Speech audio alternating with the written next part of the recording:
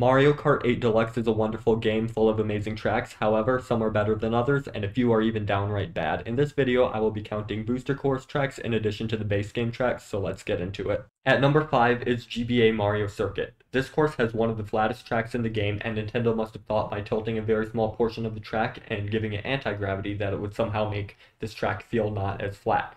This didn't work because the rest of the track is still flat. The main gimmick of this course is making a bunch of turns while dodging some stuff, and overall, I find that to be boring.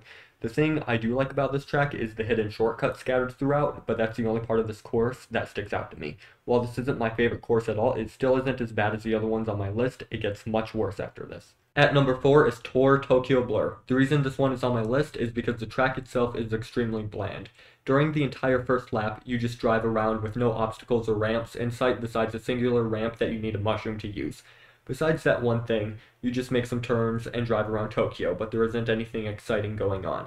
Then in lap 2, Thwomps show up, but that's the only thing adding any challenge to this course. The amount of challenge, though, is a very small amount. I have never been hit by a Thwomp on this track ever. Dodging these require the same amount of skill that is required to get wet when it is raining. Absolutely none.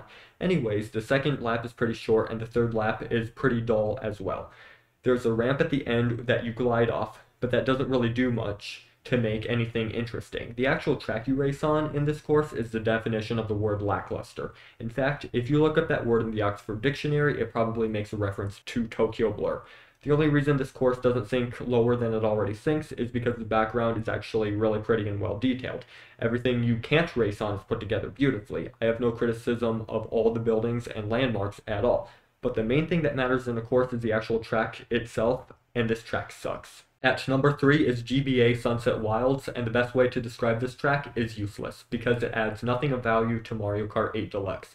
There is nothing in this course that hasn't been done already. Even the desert theme is similar to Kalimari Desert, which is, by the way, an actual good course. Sunset Wilds is a pretty flat track, and Nintendo just added one bumpy section at the end. What makes this track even worse is that Nintendo took out a certain feature. In Mario Kart Super Circuit, this course would have the sun set and the sky change colors as you completed laps. For some reason, Nintendo just ditched this, and it really makes the remake of this track lifeless and sucky.